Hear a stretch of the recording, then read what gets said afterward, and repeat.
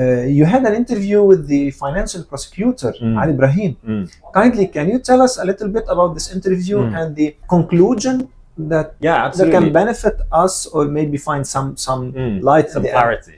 Some clarity, exactly. Many of the miners that we spoke to during doing this research, as I said, they feel themselves at the time and still feel themselves to be operating in a, a legal grey zone. And this was the quote that came up again and again. We're in a legal grey zone. The problem is that there has been no real legislation passed Mm. regarding cryptocurrency at all. And as is often the case in Lebanon, the state uh, is woefully behind the people in Mm. terms of uh, in terms of innovation and adaptation and activity in general.